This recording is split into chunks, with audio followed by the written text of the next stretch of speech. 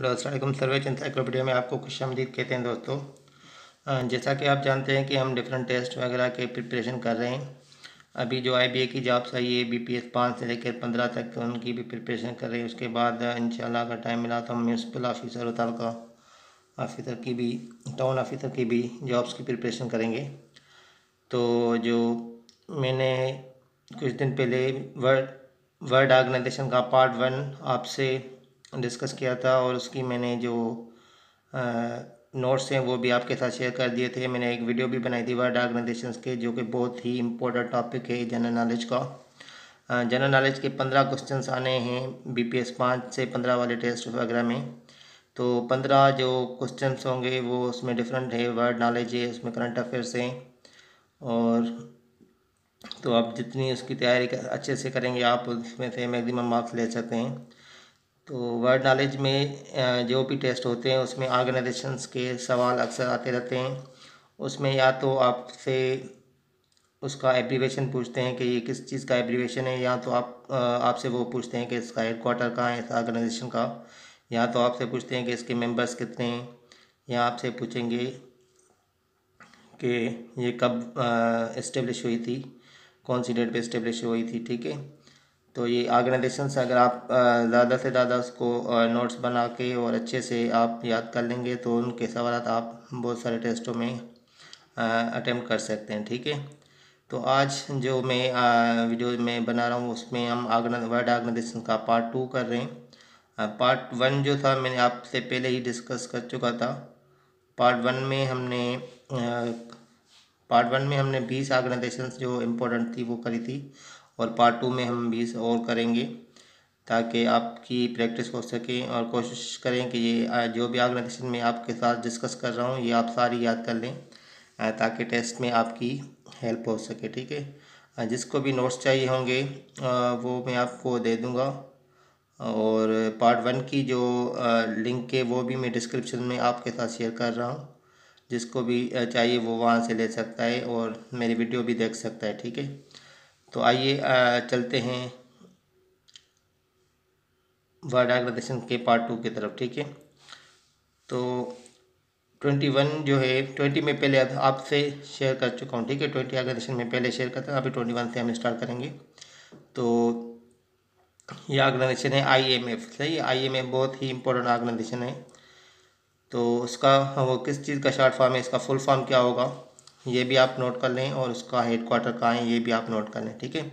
IMF का full form होगा international monetary fund ठीक है? उसका जो हेड क्वार्टर है वो है वाशिंगटन यूएस डीसी में यूएसए में जो है ठीक है? उसके कैपिटल सिटी में।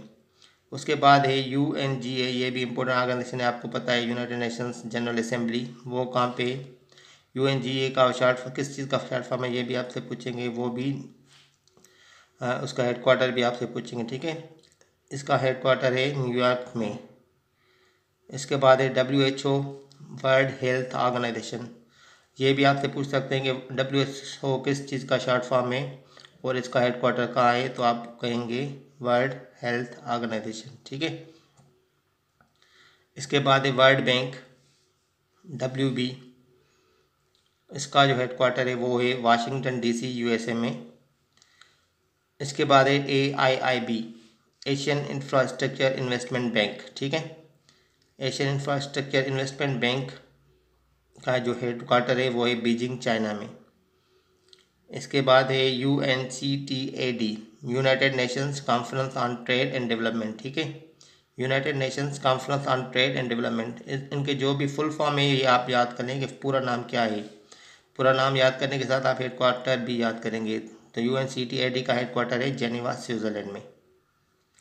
इसके बाद है W M O world meteorological organization उसका जो हेडक्वार्टर है, वो जेनीवा में है। O E C D organization for economic cooperation and development इसका हेडक्वार्टर है पेरिस में फ्रांस में। ओपेक ये बहुत इंपॉर्टेंट ऑर्गेनाइजेशन है organization of petroleum exporting countries इसका हेडक्वार्टर वियना में है ऑस्ट्रिया में, ठीक है। I M O international maritime organization इसका हेडक्वार्टर लंदन में है यूके में। A S E N association of south east Asian nation ठीक है? इसका जो हेडक्वार्टर जकार्ता में, इंडोनेशिया में, ठीक है? APEC Asia Pacific economic corporation इसका जो हेडक्वार्टर है, वो है सिंगापुर में। F A O food and agriculture organization important organization है ये भी। इसका जो हेडक्वार्टर है, वो रोम में है, इटली में।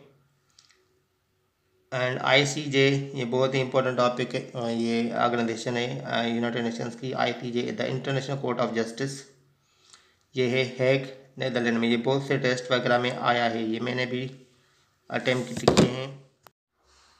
तो आप इसको याद कर लें, अच्छे से I T J short form किसका है? यहाँ the international court of justice का एब्रीवेशन क्या है, ठीक है? तो आई सी जो जो इदारा है, वो उसका जो हेडक्वार्टर है, वो हैग नैदरलैंड में, ठीक है? और इसके बाद जो है ऑर्गेनाइजेशन वो है FIFA federation of international de football association इसका जो हेडक्वार्टर है स्विट्ज़रलैंड में W A D A world anti doping agency इसका जो हेडक्वार्टर है वो मॉन्ट्रीट कनाडा में है। और यूरोपियन यूनियन ईयू जिसको हम कहते हैं, उसका जो हेडक्वार्टर है ब्रूसेल बेल्जियम ये भी जो सवाल है, ये अक्सर टेस्ट वगैरह में आता रहता है। तो दोस्तों ये नोट कर लें, जो भी मैं आपके साथ जो ऑर्गेनाइजेशंस डिस्कस कर रहा हूँ या पिछले पार्ट वन में भी जो मैंने आपके साथ शेयर की थी ट्वेंटी तो ये जो भी ऑर्गेनाइजेशन है, इसके हेडक्वार्टर या उसका नाम, या उसकी इस्टेब्लिशमेंट डेट कब हुई थी तो ये सवाल आते हैं। तो आप अगर याद कर लेते हैं तो जो अभी बी पी एस पाँच से पंद्रह ग्रेड की टेस्ट है, या उसके अलावा जो भी टेस्ट आपके देते हैं पी टी एस के तो हो एफ़ आई के हो एफ़ पी एस सी के हो एस पी एस सी के ये इनमें सवाल आते हैं। अगर आप याद कर लेंगे अच्छे से तो आपको इसका फ़ायदा होगा ठीक है?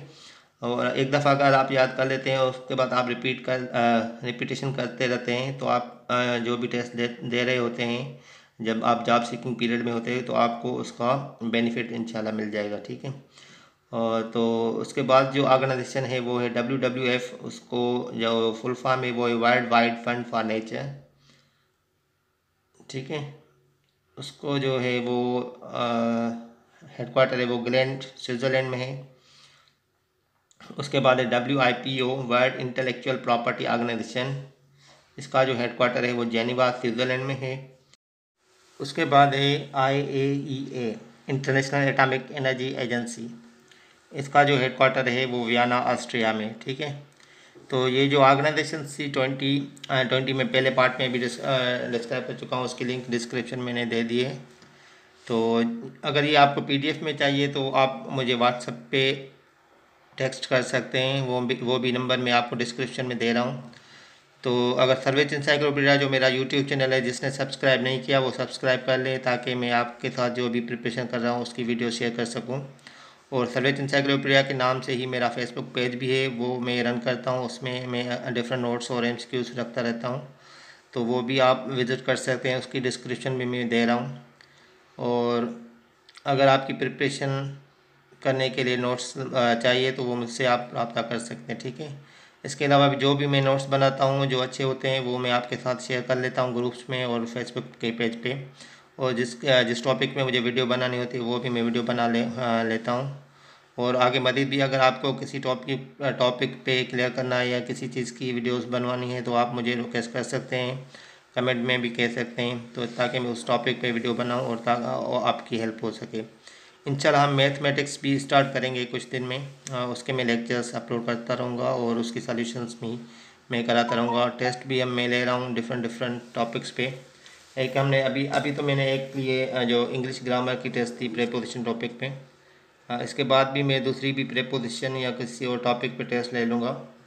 उसके बाद हम जनरल नॉलेज भी टच करेंगे और जो है ई डी एवरीडे साइंस भी हम करेंगे कवर तो इंशाल्लाह जो भी मटेरियल है बी पी एस पाँच पाँच से लेके पंद्रह तक वो हम कवर कर लेंगे। तो आप सब इंस्टाग्राम सब्सक्राइब कर लें और मेरा फेसबुक पेज भी लाइक कर लें। और आप अपना ख्याल रखिएगा। शुक्रिया। अल्लाह हाफिज़।